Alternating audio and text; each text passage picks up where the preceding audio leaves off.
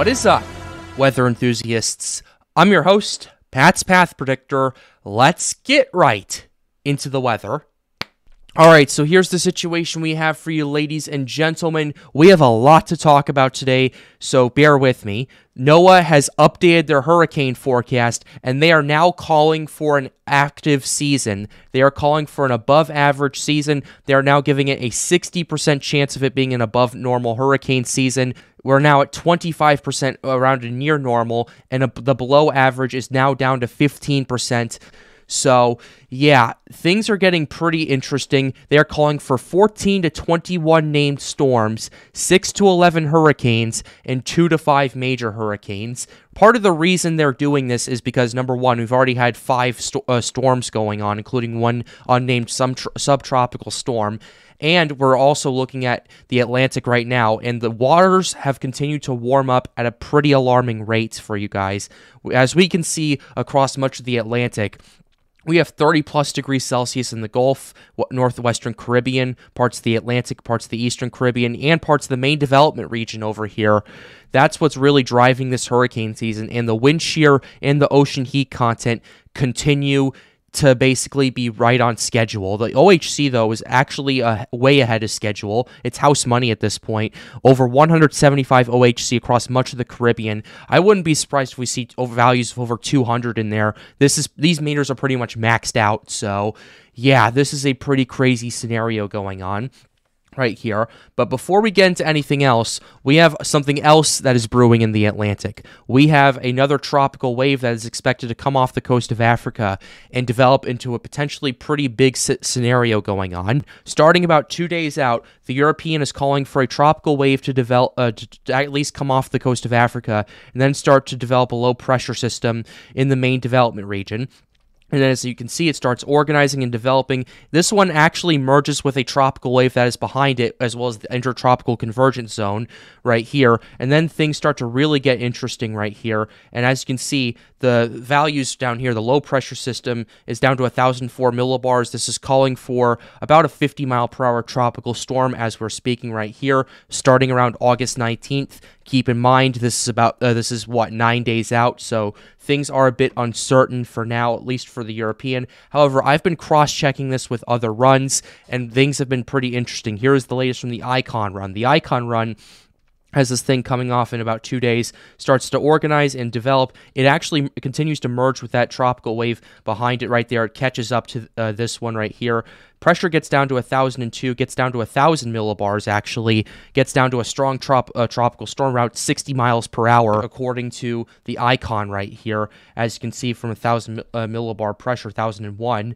Um, so things are getting pretty interesting. This is 180 hours out. By the time it starts developing, we're about about five days out or so. But by the time things start to really organize, so I'm definitely paying attention to this. CMC, the Canadian model, here's what we have going on as of the latest right here. The Canadian model has this thing coming off the coast of Africa. Low pressure system starts to develop right there. Things start to really get interesting right here.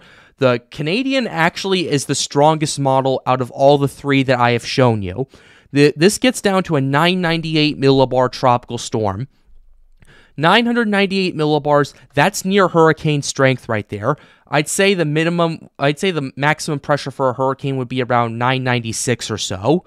So we're at around a 65 to 70 mile per hour tropical storm, depending on how things go right here. And this is continuing to organize and intensify. The CMC has really been leading the charge out of all of these runs right here. And this is why I'm paying attention to it because if it was just the GFS or something like that, I would probably brush this off and say take this with a grain of salt.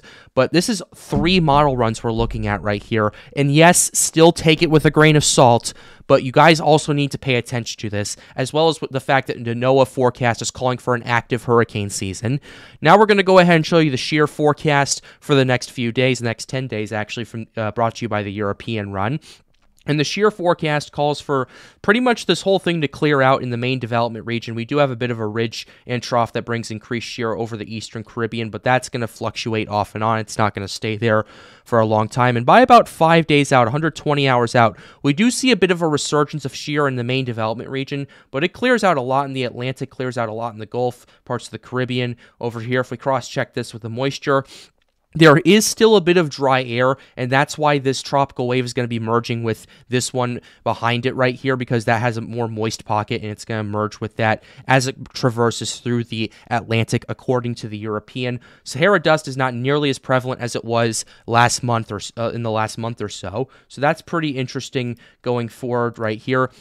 Continuing with the shear forecast, we have things really starting to get pretty interesting right here. About 204 hours out, the shear across the MDR really picks up in intensity right here. So that's going to be a bit unfavorable for development, although the moisture in the MDR is going to make up to that, uh, make up that for to some extent right here. As we continue to see an increased moisture pocket across the main development region, we do start to see more moisture starting to creep up in the Gulf of Mexico, in the Caribbean, parts of the Atlantic as time continues to go on. And by the time we're 240 hours out or so, MDR gets pretty moist. There is some moisture pockets in the Atlantic, Caribbean, a little bit in the Gulf, part, especially in Florida and the Bahamas. So this is something we need to continue to monitor right here.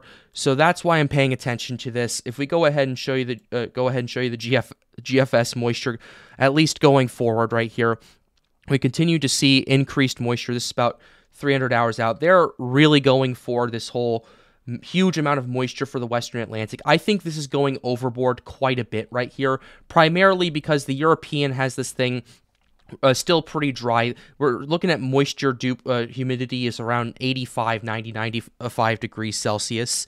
So, yeah, I'm not entirely sure to trust this. I would basically put for the humidity, I drop this down afterward by about 30 points or so percentage points. And even still, that's a moistening atmosphere across much of the Atlantic. So things are about to start priming up for hurricane season going into late August and the third week of August for that fact. Now we're going to go ahead and show you some ensemble runs. The European ensemble has been pretty interesting. The Zero Z ensemble really has this thing concentrated right here. Here's the tropical wave we have right here. The European ensemble is calling for this thing to really ramp up in intensity as it approaches the Lesser Antilles, strengthen to a hurricane potentially as it impacts the Leeward Islands. One of these scenarios has it down to 954 millibars, another up down to 965, which both of those can easily qualify for major hurricane strength right there. However, this is an ensemble run. This is just two scenarios of a poss- of a, a huge amount of possibilities. Take that with a grain of salt. Also, it's 10 days out, so you guys uh, still should pay attention to it, but nothing is set in stone yet. So just keep that in mind. But for the time being, this continues to move up, and potentially some of these ensembles potentially have it impacting the United States. Others have it keeping out to sea after it impacts the Lesser Antilles. So this is something we need to absolutely monitor.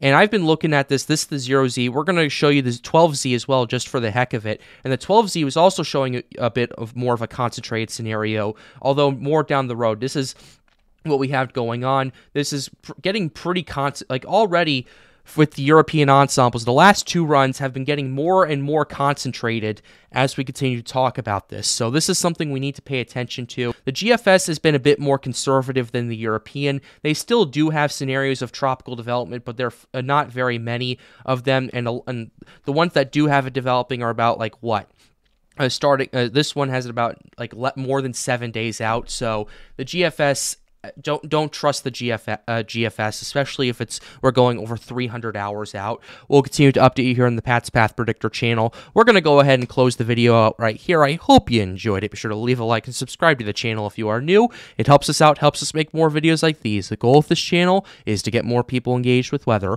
But with that being said, have a wonderful day, guys. Stay safe.